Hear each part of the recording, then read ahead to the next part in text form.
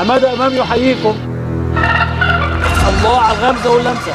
هوبا ودياب هو أنتوا عملت إيه؟ مزيكا. كورة حلوة حلوة حلوة. هوبا جول جول برافو يا سمير. طه حماده امام جول جول جول. حماده المبين هو جول هو جول وراس الجول هيحط الجول فقدت الرياضة المصرية اليوم أحد أبرز من لعب كرة القدم في جيل الستينيات والسبعينيات بنادي الزمالك. هو الثعلب الكبير حمادة إمام. محمد يحيى الحرية إمام وشهرته حمادة إمام ولد في الثامن والعشرين من نوفمبر عام 1948 ورغم أن والده اللواء يحيى إمام وهو حارس مرمى الزمالك ومنتخب مصر في الأربعينيات ومن أحسن الحراس في تاريخ مصر إلا أنه انضم لأشبال الزمالك بالصدفة.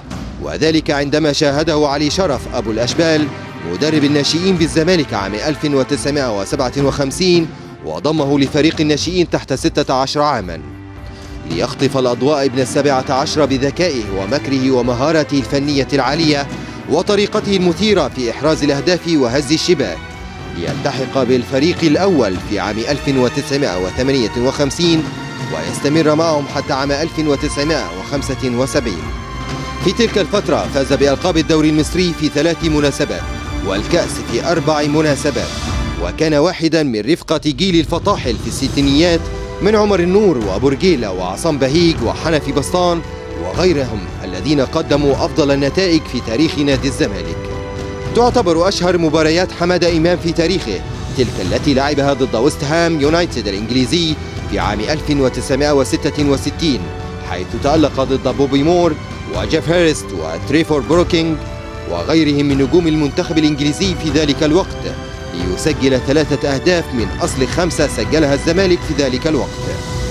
يعتبر حمادة إمام اللاعب الوحيد في تاريخ الكرة المصرية الذي لم يحصل على إنذار في حياته كما كانت حياته الخاصة مثلا يحتذى به. وعندما تزوج اختار زوجة من أسرة عريقة هي الدكتورة ماجي الحلواني عميدة كلية الإعلام بجامعة القاهرة سابقا وجامعة 6 أكتوبر حاليا. وأنجب أشرف وهو طيار وقدم للملاعب موهبة فذة أخرى.